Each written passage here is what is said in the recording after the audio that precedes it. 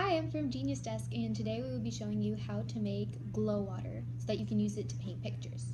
So you're going to have three little pills which you can find a creative way to crush them up into a fine powder and then mix it with a little bit of water to make a little liquid I guess. Then take um, some watercolors and mix it with the water and then paint whatever kind of design you want. And for example we have made these. So once you're done creating your design, you will have a little black light in your box and use that to see your design and it will glow. Compare it to the dark colors and the light colors. Have fun. Have fun.